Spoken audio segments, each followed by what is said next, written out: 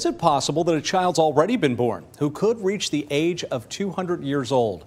Amazon's Jeff Bezos, Google founder Larry Page, and a Saudi prince among those now pouring their cash into new companies with the goal of extending our lifespans. Well, tonight we're focusing on a drug that already exists that some think could, in fact, be the world's first anti aging pill. It's very exciting because this is where this is where the breakthroughs happen. Dr. Robert Lufkin's one of the most respected voices from the medical community on anti-aging.